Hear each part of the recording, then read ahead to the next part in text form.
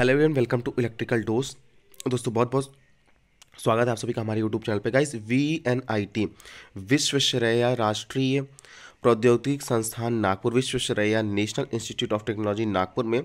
दोस्तों non teaching staff की recruitment आई हुई है डिप्लोमा वालों के लिए बी बी टेक वालों के लिए आई वालों के लिए। गाइज़ यहाँ पर technical assistant junior engineer technicians senior technicians सभी की रिक्रूटमेंट आई है। टेक्निकल असिस्टेंट और जूनियर इंजीनियर पर डिप्लोमा और बी बी टेक एलिजिबल है। टेक्नीशियन और सीनियर टेक्नीशियन पे आईटीआई और डिप्लोमा दोनों एलिजिबल है। तो गाइज़ इसी के बारे में इस वीडियो में बात करने वाले इंपॉर्टेंट डेट्स क्या है इंपॉर्टेंट क्राइटेरियाज क्या है फॉर्म फ़ीस क्या है लास्ट डेट कब है फॉर्म को कैसे फिलअप करना है, सभी चीज़ों के बारे में इस वीडियो में डिस्कस करने वाले हैं। वीडियो को स्टार्ट करने से पहले दोस्तों, अगर आप मेरे चैनल पहली बार विज़िट कर रहे हैं तो चैनल को सब्सक्राइब कर लीजिएगा, बेल आइकन को प्रेस कर लीजिएगा, ताकि आने वाले जो भी वीडियोज़ हैं, उसका नोटिफिकेशन आपको सबसे पहले प्राप्त हो इसके बाद दोस्तों हमसे टेलीग्राम पर भी जुड़ सकते हैं, जिसका लिंक किसी वीडियो को डिस्क्रिप्शन बॉक्स में, मैं देख रखूँगा। उस लिंक पर क्लिक करके डायरेक्ट हमसे टेलीग्राम पर भी जुड़ सकते हैं। गाइज़ देखिए, इस जो टी का फॉर्म है, अट्ठाईस नवंबर दो हज़ार बाईस, इसका अप्लाई करना है आपको, ठीक है? और यहाँ पर आप देख सकते हैं लास्ट डेट इसकी अप्लाई करने की 27 दिसंबर है और 2 जनवरी 2023 तक आप इसे हार्ड कॉपी इसकी बहुत जानी चाहिए। कहाँ पहुँचानी चाहिए, इसके बारे में बताएँगे। देखिए, सबसे पहले बात करते हैं हम टेक्निकल असिस्टेंट की जो वैकेंसी है, टोटल बीस वैकेंसियाँ हैं। टेक्निकल असिस्टेंट में, अभी इसके बारे में हम डिटेल में एजुकेशन क्वालिफिकेशन भी डिस्कस कर लेंगे। पी बी टेक और डिप्लोमा रिक्वायर्ड है। दस यू की वैकेंसी है, दो ई e की, पाँच ओ की, एक एस की, दो एस की। जूनियर इंजीनियर सिविल के लिए दोस्तों दो वैकेंसी, एक यूआर की और एक एस की। जूनियर इंजीनियर इलेक्ट्रिकल की दो वैकेंसी है, एक ओबीसी की और एक एससी की है। इसके अलावा देखिए जो नॉन टेक्निकल वैकेंसी है, उसके बारे में यहाँ पर डिस्कस नहीं करने वाले हैं। देख सकते हैं आप कि टेक्नीशियंस की टोटल जहाँ पर डिप्लोमा और आई दोनों एलिजिबल तीस वैकेंसी चौदह यूआर की है, दो ई e की है। आठ ओबीसी की है, दो एसटी की है और चार एससी की है। सीनियर टेक्नीशियन की पंद्रह वैकेंसी है, इसमें यूआर की आठ है ईडब्ल्यूएस की एक है ओबीसी की तीन एसटी की एक एससी की दो है। सभी पोस्टों पर दोस्तों, एक साल का प्रोवेशन पीरियड होता है और दोस्तों, इसके बाद कन्फर्मेशन होती है। हंड्रेड परसेंट कन्फर्मेशन होती है तो परमानेंट रिक्रूटमेंट सरकारी नौकरी, इस चीज़ को बिल्कुल भी आप टेंशन नहीं हैं। अगर हम बात कर लेते हैं इसका एग्जामिनेशन प्रोसेस की तो आपका एक रिटर्न टेस्ट होगा, इसके बाद स्किल टेस्ट होगा। स्किल टेस्ट दोस्तों, आपका क्वालिफाइंग नेचर होगा फिफ्टी मार्क्स आपको क्वालिफाई करने के लिए लाना पड़ेगा। फाइनल सिलेक्शन होगा दोस्तों, वो आपका रिटर्न एग्जामिनेशन के बेसिक्स पर होगा। चलिए, अब बात कर लेते हैं हम दोस्तों यहाँ पर।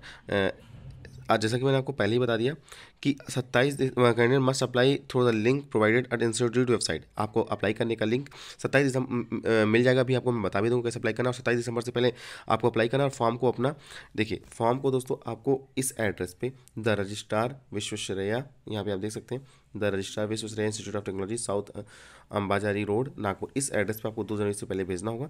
चार सौ रुपये यहाँ पर इसकी एप्लीकेशन फ़ीस है और एस सी एस टी और पी डब्ल्यू डी कैटेगरी के लिए कोई भी एप्लीकेशन फ़ीस नहीं है। केवल जर्नल और ओ बी सी के लिए और ई डब्ल्यू के लिए फॉर्म फ़ीस है। देखिए, चलिए टेक्निकल असिस्टेंट के लिए अगर हम बात करें तो बयालीस सौ पे ग्रेड की जॉब है। लेवल लेयर सिक्स है। फ़र्स्ट क्लास का बी बी टेक रिक्वायर्ड है या डिप्लोमा इंजीनियरिंग रिक्वायर्ड है। Relevant relevant field with excellent record professional period देखिए मैंने आपको पहले बता दिया एक साल।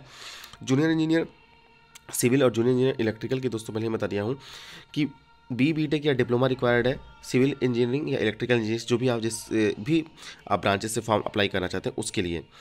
अगर हम बात कर लेते हैं दोस्तों, यहाँ पर डायरेक्ट अब आके टेक्नीशियन की पोस्ट पर टेक्नीशियन का पे लेवल थ्री होने वाला है। आपका आईटीआई रिक्वायर्ड है या डिप्लोमा इन इंजीनियरिंग डिप्लोमा आपका किसी भी ब्रांच से हो, आप एलिजिबल हैं, इसी तरह सीनियर टेक्नीशियन के लिए भी आईटीआई रिक्वायर्ड है और डिप्लोमा आपका किसी भी diploma in engineering three years आप किसी भी ब्रांच से हो, आप एलिजिबल हैं। देखिए, जो सीनियर टेक्नीशियन का है, उसमें जो आपकी एज है मैक्सिमम तैंतीस साल होनी चाहिए। ओबीसी को तीन साल का रिलेशन एस को पाँच साल का। इसी तरह अगर हम बात करें टेक्नीशियन के लिए तो सत्ताईस साल एज लिमिट है ओबीसी को तीन साल का रिलेशन एस को पाँच साल का।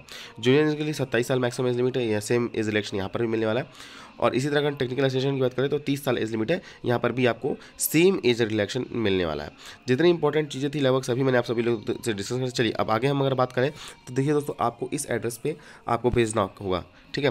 वीडियो के डिस्क्रिप्शन बॉक्स में दोस्तों आपको इस पीडीएफ को डाउनलोड करने का लिंक और इसके अलावा सारी चीज़ों का लिंक पे आ, कैसे आपको अप्लाई करना है ये सभी चीज़ों का लिंक आपको लिंक मिल जाएगा पीडीएफ को डाउनलोड करने का लिंक मिल जाएगा।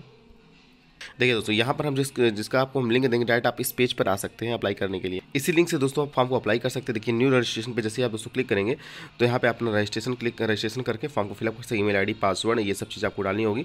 और इवेन आई टी का फॉर्म आप कुछ इस तरह से फिल कर सकते हैं, जैसा कि पहले बता दें, चार सौ इसकी अपलीकेशन फ़ीस है। तो एक अच्छा मौका है दोस्तों, जो भी कैंडिडेट इंटरेस्टेड है फॉर्म को ज़रूर फिलअप करें। वीडियो डिस्क्रिप्शन बॉक्स में आप सभी चीज़ों का लिंक मिल जाएगा। होपफुली दोस्तों, आप सभी लोगों के लिए इन्फॉर्मेशन उपयोगी साबित है वीडियो को पसंद आने पर अपने दोस्तों के साथ शेयर करें। चैनल पहले पर विज़िट करें तो सब्सक्राइब ज़रूर कर लीजिएगा। तो चलिए दोस्तों, आज की वीडियो में thanks for watching this video. See you next time.